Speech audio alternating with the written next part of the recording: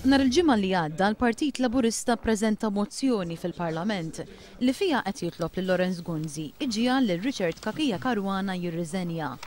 Ir-raġuni wara din it-talba hija li fl-2004 Cachia Caruana kien ikkomplotta ma' gvernijiet barranin minn wara dan il-Parlament Malti fuq materja sensittiva bħalma hija l-Partnership for Peace Iżda jumejn wara l-preżentazzjoni ta' din il-mozzjoni, il-Prim Ministru Lawrence Gonzi ħareġ jiddefendi lil Richard Cachia Caruana waqt programm fuq ir-radju tal-Partit Nazzjonalista.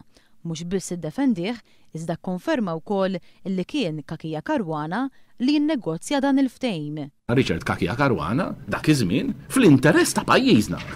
Għax hawn il-meravilja tal-inkompetenza tal-Oppożizzjoni.